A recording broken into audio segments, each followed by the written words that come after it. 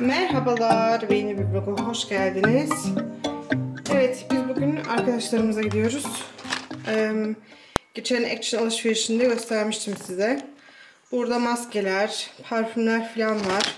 Bir de şeker koymuş bura. Sonra burada çiçeğimiz var. Sarımsak yağı. ee, bir tane likör var. Çikolata. Ve oda parfümü. Ve bu tepsi var. Ve ben bazen böyle davet edildiğim yere teklif ediyorum. Tatlıyı ben yapayım diye. Tatlıyı da ben yaptım. Hani kendimden pay biçiyorum. İşte yok evin temizliğiydi, yemek hazırlamaktı. Bilmem neydi. Zaten insan yeterince stresli oluyor. Bir de tatlıyla e, uğraşmasınlar diye tiramisu'yu dün ben hazırladım gördünüz. Ee, kakaonu şimdi ben serpmeyeceğim üstüne ıslansın istemiyorum. Orada serperiz. Öyle. Bugün de saçımı böyle yapıştırdım. Yüzüme gelip durmasın diye. Ben de arkadan geçiyorum hiç kamerayı görmedim. Alsana sen şunu. Alayım. Size bir de kıyafetimi göstereyim evden çıkmadan. Çünkü görmek istiyorsunuz. O yüzden onu da göstereyim. Ondan sonra çıkalım. 2 demiştik. Saat 2 10 geçiyor bile. Neyse artık yapacak bir şey yok. Evet üstünde bu sefer böyle uzun bir etek var. Ee, üstündeki desen ne deseni leopar deseni mi desek ne desek bilmiyorum gerçekten. Ee, üstümdeki atlet böyle yüksek bir atlet. Bu aralar bunlar benim çok hoşuma gidiyor. Üstte de böyle üstte de böyle bej bir tane hırka giydim. Ayakkabılarım da bej rengi. Böyle bir kombin yaptım. Çok rahat, inanılmaz rahat. Seviyorum ben böyle etekleri. Efil efil oluyor. Şimdi çıkalım mı kızlar? Ya. Ya, hadi ben sana ceketini giydireyim. Yeah, yeah,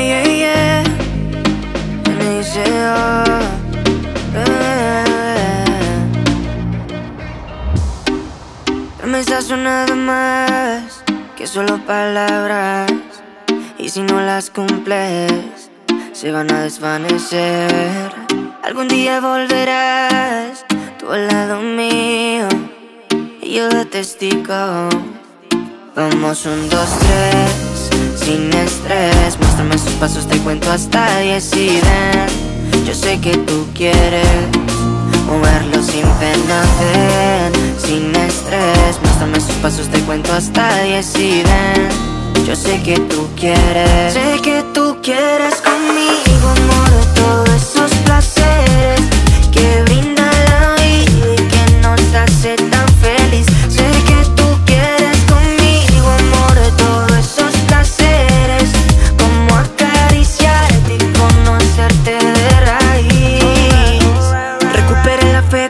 a ti te vi, mami. Bailabas como un ángel, me acuerdo de ese party. No lo hacías despacito, no eras como Daddy Eras como Bad Bunny, tu flow bastante cari, alright. Hermoso y con timidez me gusta. Y con esa Evet, bir kıyafet gösterdiğim gün daha.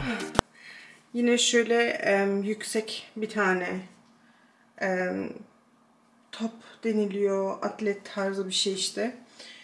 Em, ben bunları hangi markadan aldım bilmiyorum. Zalando'dan sipariş verdim bunları. Linkini koyarım mutlaka. Bunlar ama normal beden. Büyük beden değil. Sonra altında Es Oliver'ın bir e, siyah eteği var. Böyle göstermeye çalışayım.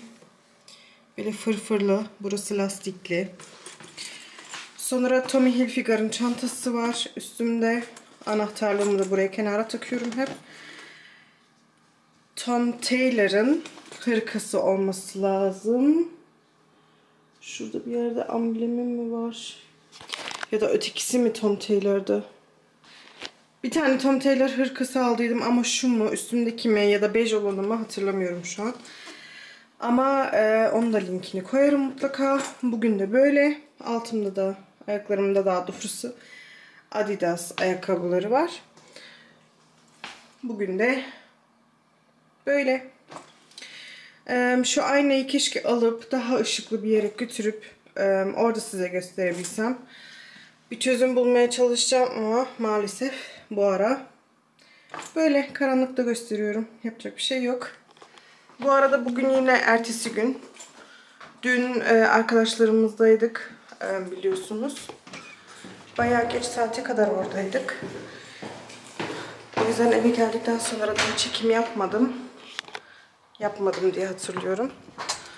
O yüzden bugün devam. Şu anda e, kayınvalidemlere gidiyoruz. Geçenlerde Defne benimle alışverişe giderken öne oturmuştu. Sandalyesini işte şeyini koltuğunu öne almıştık. Vural da dün bütün gün Sude'nin yanında oturdu bir yere giderken. Defne yanımda önde oturmuştu. Hemen alışmış. Bence çok soru sorma. Baba, baba buraya oturuyor oldu. Ne bir mama. Bence onun derdi bambaşka bir şey. Alo.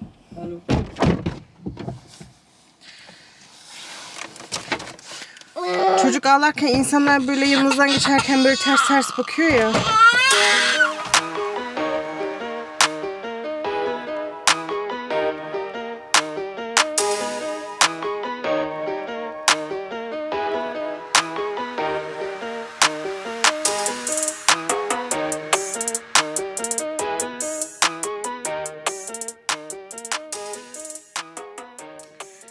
İyi akşamlar.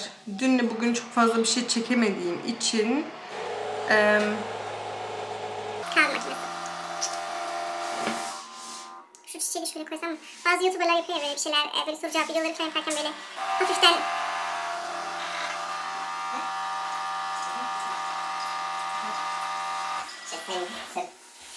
Hafiften böyle şey köşesine bir yere böyle bir çiçek falan koyuyorlar.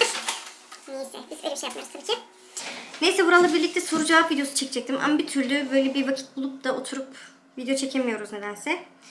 O yüzden dedim ki bak bu, dünle bugün zaten fazla bir şey çekemedim. Ben en iyisi bu soruları kendim cevaplayayım. Ben alabilir miyim? Alabilirsin tabii ki. O yüzden önce Instagram'dan gelen soruları cevaplayacağım. Bul- bulursam tabii ki. O kadar vakit geçti ki bir de üzerinden. Ama artık kendimi kötü hissediyorum. Çünkü size sürekli işte soru sorun diyorum ama bir türlü cevaplamıyorum o soruları.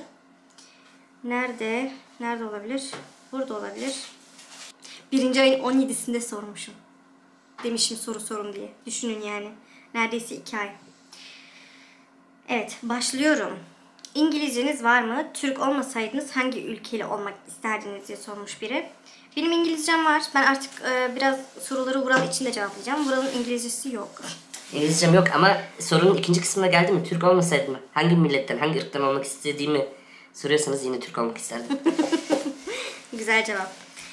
Ben de yine Türk olmak isterdim herhalde ama ama şeylere de çok meraklıyım. Ee, İtalyanlara ve İspanyollara da çok meraklıyım. Onların da şeysi çok güzel. Ne bileyim kültürleri falan çok güzel. Tamam da bizim- Gerisi beni ilgilendirmiyor. Bizim karımız güzel. Türküz. Bizim de kültürümüz güzel. Yani bir şey demiyorum ama başka kültürleri beğenmekte de bir şey yok bence. Vural o Asil kan, konuda asil kan bizde var. Türk kanı. Vural o konuda çok şey. Dümdüz yani. Bir çizgisi var oradan gidiyor sadece. Burcucuğum iki çocukla evini nasıl toplu tutabiliyorsun? Ben bütün gün topluyorum yine de dağınık. Ben de bütün gün topluyorum. Yani bütün gün toplamadığımı nereden çıkarttınız? Ben de bütün gün topluyorum.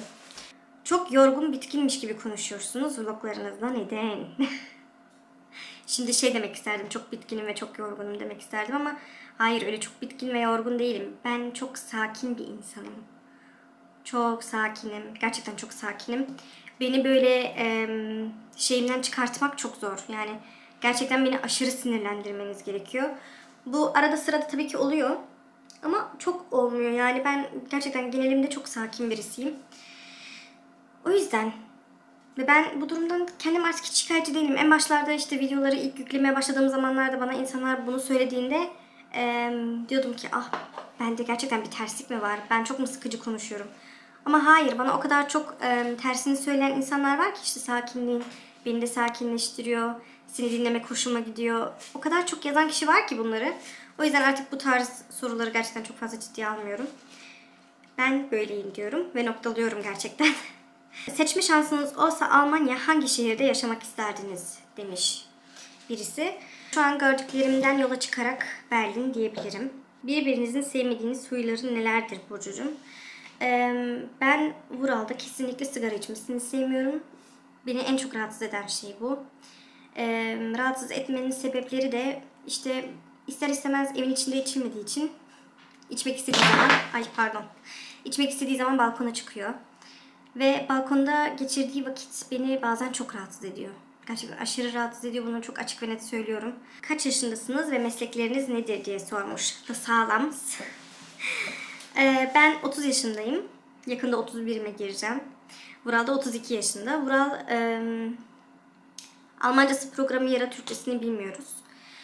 Ee, benim mesleğim de yok. Ben öyle fabrikada çalışıyorum.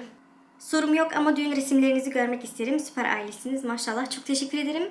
Ee, bu videonun sonuna kadar dayanırsanız ve izlemeye devam ederseniz düğün fotoğraflarımızı göreceksiniz. Göstereceğim. Söz veriyorum. Evin bütçe ayarlaması kimden sorulur? Evde en son sözü kim söylerse biliyorsunuz. Bas Family. Çok teşekkür ederim. Ee, bütçe ayarlamasını ben yapıyorum. Ee, evde en son sözü kimi söyler? Kim söyler? Bizim evde öyle bir şey yok. Yani em, işte onun sözü geçer, en son sözü o söyler diye bir şey yok bizde. Biz tüm kararları birlikte alırız ve birbirimizin kararlarına saygı duyarız. Fikirlerine daha doğrusu. Birlikte bir çözüm bulmaya çalışırız. Yani ben ne Vural'ın fikrini ezer geçerim ne o benim fikrimi ezer geçer. Nasıl tanıştınız? Üçüncü çocuğu düşünüyor musunuz? Taşınmayı düşünüyor musunuz? Nasıl, nasıl tanıştık? Ee, arkadaş aracıyla tanıştık denilebilir. Bizim zamanımızda öyle Facebook, Instagram onlar yoktu. Gerçekten yoktu. Facebook var mıydı? Facebook sanki biz tanıştıktan sonra bir süre sonra böyle yavaş yavaş gelmeye başladı. Çünkü Vural beni ilk gördüğünde e, beni sormuş soruşturmuş ama bulamamış. Ki aramızda sadece 25 kilometre vardı. E, işte internetin olmamasına alakalıydı bu. Yani olsaydı bulabilirdi büyük bir ihtimal. E, işte arkadaş aracılığıyla öyle tanıştık. Çok klişe. Üçüncü çocuk düşünüyor muyuz? Ee, bu soru çok zor bir soru bizim için. Yani yüzde yüz hayır da demek istemiyorum. Yüzde yüz evet de demek istemiyorum. İlerisi için yatırım olarak ne düşünüyorsunuz? House Bildung demeyiniz yani yatırım illa mal mülk değil. Çocuklara yatırım olarak olabilir yani eğitim. Eee, yatırım olarak bilmiyorum bu devirde bilmiyorum yani eee, hiçbir şeye daha yüzde yüz karar vermiş değiliz. Eee, bakacağız yani gerçekten bu devirde zaten hani çok paran varsa zaten yatırım yapabilirsin. Öteki türlü zaten sadece borca yatırım yapmış oluyorsun. Onu da buradan gerçekten böyle açık ve net söyleyeyim. Eee, benim yani bir şey, bir ev alacak kadar, o kadar çok birikmiş bir param yok. Bu devirde galiba hiç kimse artık cepten ödeyebilecek kadar biriktiremiyordur eminim. Çok zenginsen yaparsın, değilsen yapamazsın. Bu yani çok net ortada. O yüzden borca yatırım yapmak ister miyim bilmiyorum. Gerçi Allah uzun ömür versin. Tabii ki biz ölene kadar tabii ki o borç biter belki elbet bir gün. Bilmiyorum. Ama yani zor. Yani dediğim gibi daha yüzde yüz karar vermiş değiliz. Bakmamız lazım. Düzgün hesaplar yapmamız lazım. Çünkü ben çocuklarıma ileride borç bırakmak istemiyorum. Bu benim için çok önemli. O yüzden em, ödeyebileceğim bir mevlaysa, yapabileceğim bir şeyse tabii ki olabilir. Onun haricinde düşünmüyoruz. Em, eğitim konusunda da şöyle söyleyeyim. Ben çocuklarımı gözlemleyeceğim. Bakacağım. Ee, neyi çok hoşlarına gidiyor? Ee, hangi konuda onları yetenekli buluyorum, yetenekli görüyorum? Ee, sonra oturur konuşurum. Sen bunu yapmak istiyor musun? Bu seni e, çok mutlu ediyor mu gerçekten? Ee, kendini ileride bu Mevla, Me- Mevla yanlış kelime pardon. Bu em, ortamda görüyor musun kendini? Evet diyorsa da bu dans olabilir, bu şarkı söylemek olabilir, bu em, oyunculuk yapmak olabilir, bu matematik olabilir, bu boyama olabilir yani e, sanatla ilgili bir şey olabilir. Onlar ne istiyorlarsa, onlar kendilerini hangi bölümde çok e, iyi hissediyorlarsa, hangisi çok hoşlarına gidiyorlarsa, gidiyorsa o konuya yönelik e, eğitimlerine yatırım yapmayı çok istiyorum. Çünkü biz bazen şeyi çok unutuyoruz. Yani bizim bu okul sistemlerinde bir öğrenci her derste mükemmel olmak zorunda. Her dersi geçebilmek zorunda. Ama bir çocuk her derste yetenekli olmayabilir. Yani bizim bu okul sistemimiz bu yüzden ben çok yanlış buluyorum. Ee, bir insan matematiği katiyen anlamıyorsa ama dil konusunda çok becerikliyse e, matematikten sınıfta kalabiliyor ve bu beni, bu beni gerçekten e, çok şaşkın şaşkına çeviriyor beni. Yani bu benim hiçbir zaman anladığım anlamadığım bir şeydi. E, o yüzden e, ona dikkat etmek istiyorum yani ileride. Bakacağız. Büyüsünler. Ona göre bakacağız. Defne ve Sude'nin ismini kim koydu? Defne'nin ismini annem koydu. Sude'nin ismini de ben koymuş oldum. Ben seçtim. Ee, ama tabii ki birlikte karar verdik. Vural da beğendi ismi. Geriye baktığınızda en çok neyi özlüyorsunuz? İs- İsviçre'den selamlar. Naif güzel kadın. Teşekkür ederim. Ee, geriye baktığımda neyi çok özlüyorum biliyor musunuz? Bu internetsiz zamanı. Önceden o kadar çok zamanımız vardı ki. Günler bitmiyordu. Yani dışarıda oynuyorduk oynuyorduk o gün bitmiyordu yani. Gerçekten ben öyle hatırlıyorum. Gençlik zamanımı da öyle hatırlıyorum. Yani genç kız zamanımı da öyle hatırlıyorum. Giderdik, yerdik, içerdik. Kimsenin elinde telefon olmazdı. Arada sırada birisine birisine mesaj geldiğinde hepimiz böyle şey oluyorduk. Oo sana kim yazdı? kim kontörünü senin için harcadı ve sana bir mesaj attı? Yani bu böyle çok nadir olaylardan bir şeydi yani. Ee, insanların telefonu zırt çalmazdı. O zaman çok özlüyorum. Yani bunu YouTube yapan birisi olarak söylüyorum evet. Ama em, ben YouTube'u em, birazcık da buna, bunun için kullanmak istiyorum. Yani böyle bir takım mesajlar iletmek istiyorum. Yani hayatınızın değerini bilin istiyorum. Bu çok önemli. Bu mesajı gerçekten vermek benim için çok önemli. Ve bazı insanların bunu sürekli duymaya ihtiyacı var diye düşünüyorum. O yüzden ben de sürekli söylüyorum. Em, bir tane daha soru vardı. Em,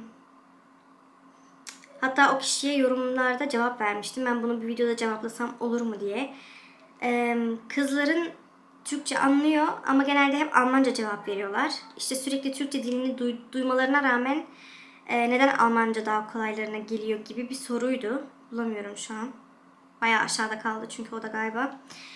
Eee Şöyle bir şey var. Defne 3 yaşına kadar, kreşe başlayana kadar sırf Türkçe konuştu. Ve gerçekten Türkçesi çok güzeldi. Çok mükemmel bir Türkçe konuşuyordu.